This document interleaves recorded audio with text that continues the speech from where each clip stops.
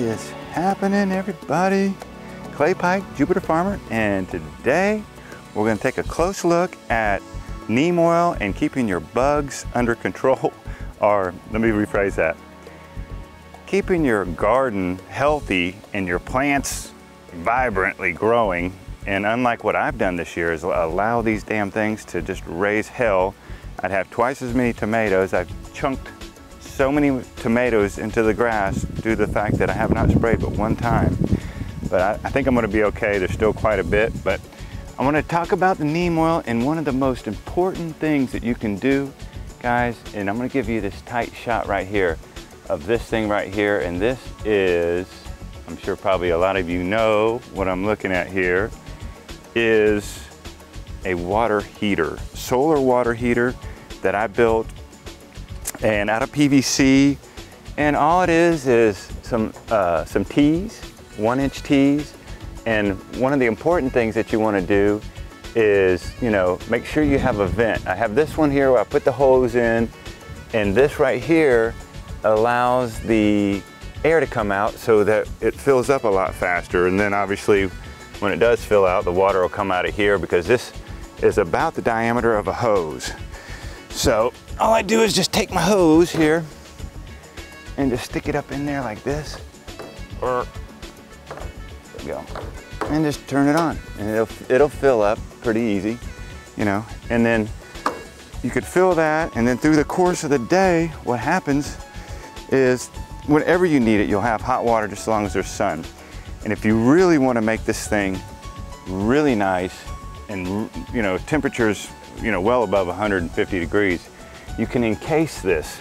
You just, you know, tack some two by fours, you know, along the bottom and across the top and put a piece of plexiglass on that thing. That'll definitely get the temperature up there. But the, why, do, why do you want to do that? Is because this neem oil is, the viscosity of it plays hell on your sprayer. It will clog up your nozzle.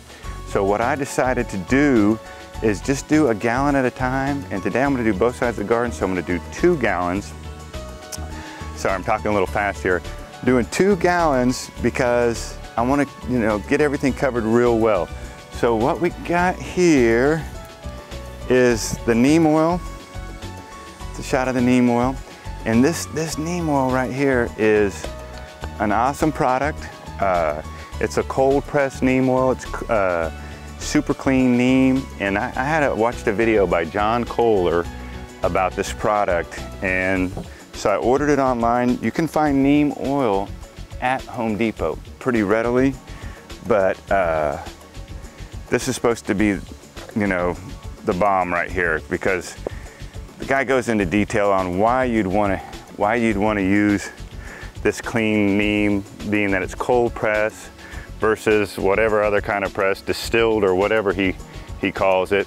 And then the other product that we use is we meaning me, is this Bronner's, uh, Dr. Bronner's uh, Magic Soap. But this is, this, this particular variety, it's old and it's faded. I can't really read it, but I believe this is the citrus variety.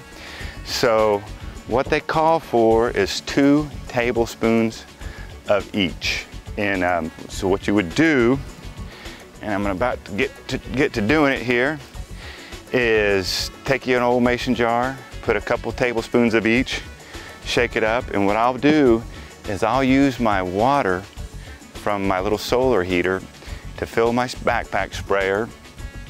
And so I mounted this thing on one of the poles on the pole barn right here, just, just high enough where I could stick this backpack sprayer right underneath it so that it'll fill it up. I just, I gotta get a hose on this thing. Well, there's my little hose right here is blocking it. But, you know, I can stick it under here like this, fill it up with some nice heated water and that'll keep the, that, that oil from coagulating because what happens is, and I've done it and don't recommend it, don't let it sit and pick the sprayer back up because it will coagulate once it gets cold. You start pumping away, your nozzle gets, uh, gets clogged. So, you know, whatever you want to do, whatever you do, let me say like this, is use it all, rinse it out good, and avoid having to take that nozzle out and clean it up. So I'm gonna go ahead and get to mixing here. Okay, so the first thing I'm gonna do is put water in here.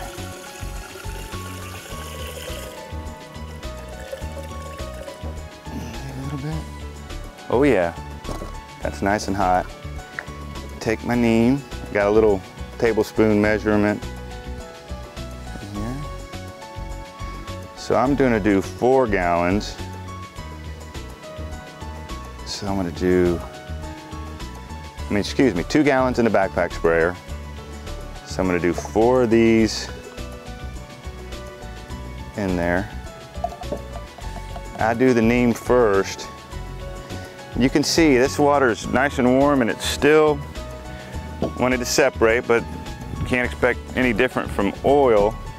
But this will help break the oil up.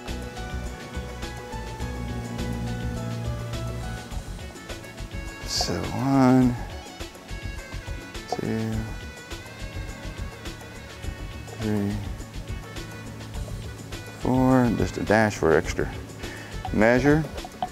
Okay, so we got those two items done.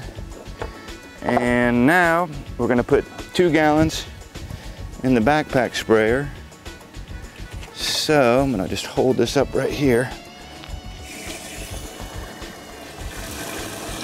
That's why I need a hose. Boy, this, this is really hot, guys. I mean, this is nice. It's only been an hour since I filled this up. And it's crazy warm. Let's see where we're at with my level. A little bit more. You can tell that thing's not mounted too nice. I just threw it up on a cinder block. You can't probably see it in the frame, but sitting on a cinder block and one screw at the top. Okay, so that's two gallons right here. Let me come around here. Set this up on my makeshift table here. I gotta, oh boy. Well, you know, it's funny because uh, these backpack sprayers have a two right here and a one, gee, two gallons, one gallon. But the design of it's really poor because they have it at an angle. This is, this piece of metal here is at an angle. So, you know, you put two gallons in there and it doesn't show, but if you, if you level it, you'll see it's at two gallons. Don't ask me why, I tried to bend this, not happening. So anyway, so I made a line right here to help me out a little bit, but it's not exact. You know, it's not an exact science, but it's close. So we got that going on. Nice, nice, nice warm water. Shake that up good. And add this into the sprayer like that. And that's it. That's all you got to do. Put your top on. Just make sure you use it all. With that warm water, it is definitely going to stay in the soap separated. So it's always nice to, I put this up on, that's my trailer right there. On the other side, there's a fender well. This is the fender well on this side, but there's ants over here, that's why. But uh, so I put it up here and, and it makes it easy to put on.